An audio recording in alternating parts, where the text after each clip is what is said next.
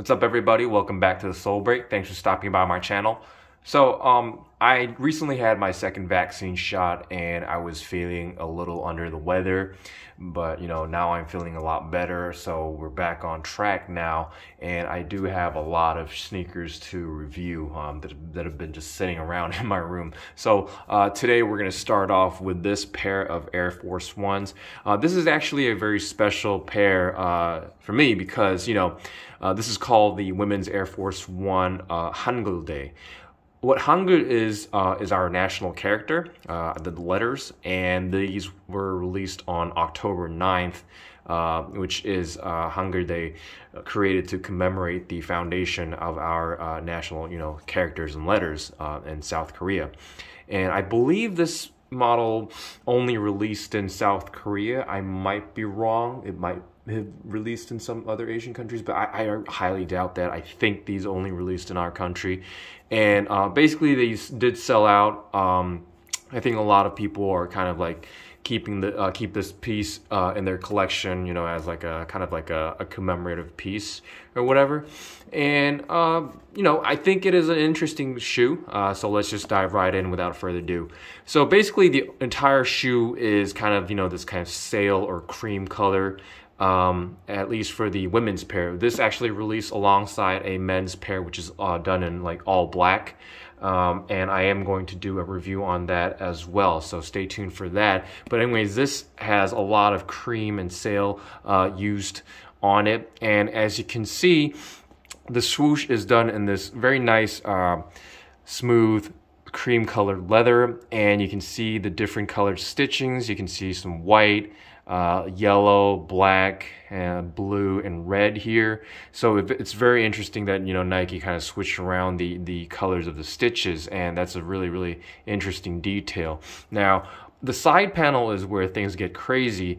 Uh, it's they've got this kind of like satin feeling. I'm not really sure if this is satin or nylon, but it it does have that kind of really nice silk kind of looking uh, texture to it done in this. I would say like there's kind of like um, some sort of like you know uh, shiny beige or cream colored material and on top of that you got these uh, Korean characters embroidered onto the side panel. And this is supposed to spell out uh, just do it in Korean. And I think that's a very very um, uh, interesting touch. You know um, we rarely see Korean characters on a Nike shoe. And so you know it, it's very special to to um, have this sort of model. Um, and then you've got some other you know characters uh, emphasized in blue red and yellow as you can see here. And here towards the front you see more of that cream color leather covering the toe cap area here. And I can say that you know the QC is really really nice. I think they did a put, they did put a lot of attention into this. And the leather itself is quite nice. And then on the toe box, you see more of that kind of, um, uh, that like, you know, shiny, I, I don't know. I, am not really sure what this cloth or like fabric material material is, but it's pretty smooth and it does feel silky even though it's not silk. Uh, but you know, you get the point. And then this is also supposed to spell out, you know, just do it as well as Nike in Korean. So, you know, we see more of that Korean characters uh, embroidered onto the shoe. And you can see a lot of the embroidery. It, it, they did really, really take this model a, a, a mile, you know, uh, the extra mile, and you know, put in a lot of you know attention to detail. And then here towards the center, you see that you know uh, little mini Nike swoosh embroidered in that kind of you know uh, shiny uh, beige or cream color threads. And then here on the center part, you got the factory laced uh, white laces kind of choked up there. And then here for the eye stay area, you see more of that beige or cream colored leather once again. And, and it is very smooth to the touch.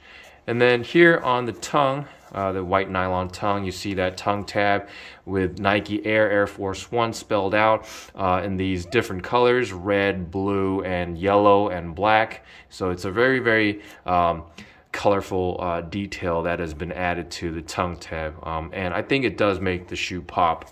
And then on the inside, you got this kind of perforated uh, mesh material for the ins uh, the sock liner.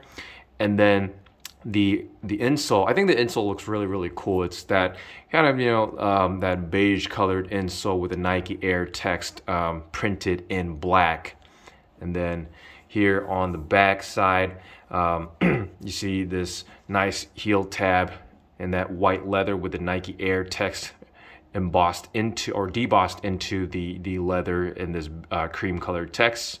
And then here you see another piece of fabric attached to the heel counter. Uh, once again you see the red uh, blue and yellow white and and black.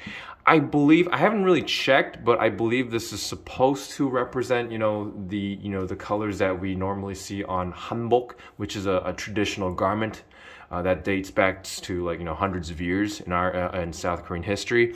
But that's just my guess. I haven't really done research on this model, but that's that seems like the theme behind it. So you know um, you might want to look it up if you're really interested. Anyways, uh, here on the back side you see more of that cream color leather as well. The medial side is basically the same deal, but you you could notice that you know the placement of the letter are are, are quite different. So you can assume that each pair is going to have you know different placements of the embroidery, which is really pretty special because you get a uh, unique pair uh, when you purchase this.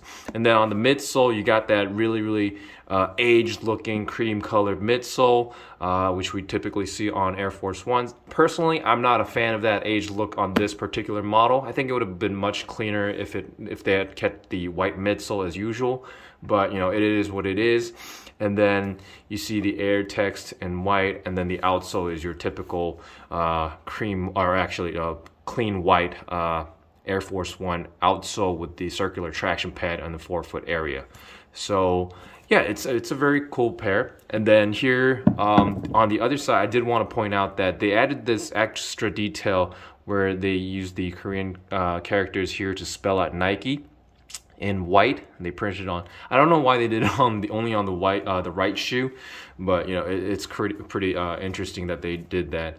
Uh, this does not come with an extra set of laces, and I can't really comment on sizing because this is actually a women's uh, pair and it is in a women's size so there's no way I'm gonna fit this on my feet and tell you the uh, the sizing tip. But my general experience with Air Force One is that you know going true to size should be plenty of room in the toe box area. I rarely recommend going half size down with shoes but you might uh, you might want to consider going half half size down if you have super narrow feet. But you know that's for the men's version. I'm not entirely sure how the women's shoes fit, but you know that's just yeah, uh, it is what it is. So you might want to check other reviews uh, if if possible. But you know, uh, wearability wise. I mean, for the ladies, I don't think this would be a very uh, difficult pair to pull off. It's just a beige colored um, shoe. And, you know, the, what I feel about this model is that I think this is this is pretty universal for a lot of the languages. If you don't know, if you can't really read what's on the uh, on the uh, the particular shoe or, or clothing, I think that makes the letters look much cooler than what they actually mean or stand for you know just from an aesthetic standpoint for for instance if i look at japanese characters or even like Chinese characters on uh, uh, on a particular shoe, I can't read it, and I think that's precisely what makes that uh, the characters themselves look really cool. The shape itself, you know, the you know the aesthetic design of it. So for me, it's really special that Nike has the, the has used the Korean text on uh, on an air pair of Air Force Ones. It's just that I can't really enjoy the entire, you know, the aesthetics of the letters because I'm more fixated on the meaning of the, the, the, the words that are embroidered onto the shoe. If you, I'm not really sure if you guys uh, see what I'm getting at, but you know, th that's just me. That's just my opinion. Um, there might be some people who, who, who uh, defer, but you know, it is what it is. So what I'm trying to say is that I'm not entirely a fan of the, the, the, the model I appreciate it, what it stands for. Um, I appreciate the fact that Nike pulled this out uh, with two pairs actually. So it's a really cool shoe. It's just that I don't picture myself um, wearing these in public because a lot of people are going to be able to read what's on the shoe uh, in my country, and that's gonna be pretty awkward. They're gonna be like, "Why does that guy have you know like just do it written out in Korean on his shoe?" So you know, I, I mean, I'm not insecure or anything. It's just it's just kind of funny to me, but from a foreigner standpoint, I think it, should be fine. You know, it should be. Uh, I think uh, Korean letters are pretty uh, beautiful if you look at them um, from an aesthetic standpoint. So it might be a pretty cool pair to pick up. Um, I'm not really sure if there's any resale value on this particular pair, but there might be some, you know, because if these only released in our country, I imagine the only way that you can get these is, is probably through you know resale platforms such as StockX or uh, eBay or something like that. So you might have to pay a small sum, but you know it's really nothing substantial, and I think it'd be a nice uh, piece to add to your collection if you're really interested in the shoe. So, anyways, um, that's it for today. I'm sorry guys uh, for not uploading uh, for the past week. It's just that you know I was recovering from my vaccine shot, but I promise you that I will be posting a lot more videos uh, really soon because I have I think I have like three or four more pairs uh, sitting around, so I'll just do that really, really quickly. But anyways, thanks for watching today. Uh, if you guys uh, enjoyed watching this video, please hit that subscribe button. We're really, really near that 1K mark, so let's get there. I really appreciate all your support, and stay tuned for more. Thanks for watching.